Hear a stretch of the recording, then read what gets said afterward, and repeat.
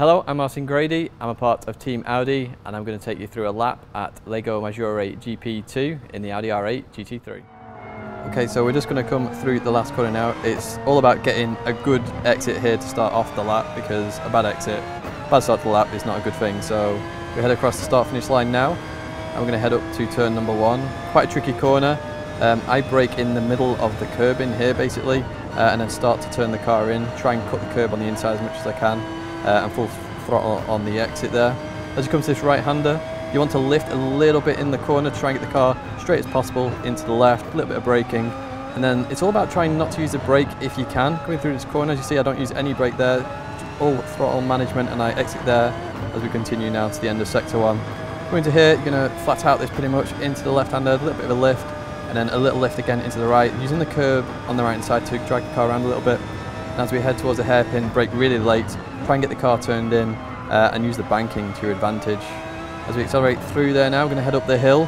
This is where our car starts to struggle on power a little bit, but we keep full throttle as uh, we head towards a very tricky section now uh, and the end of the next sector. And as we come into here, you want to cut the left as much as possible to then straighten out this right a little bit, and then it's all about trail braking and uh, turning in at the same time.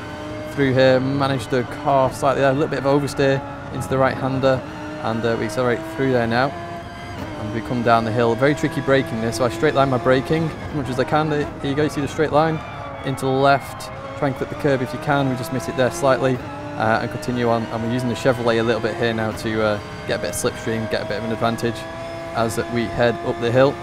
I use the right hand side, the red marker there to brake. I trail brake in as much as I can just to try and clip the curb there and then chuck it into the right hander here and we're going to look for to try and really keep it tight here at the hairpin as we come into the braking zone. We chuck it in, try and get on the curb, keep it really tight, so then we've got a really good angle for the right hander. So right through the corner, keeping the throttle on a little bit there as we head towards the line now, and that is going to be a lap of Maggiore GP2 in the Audi R8 GT3.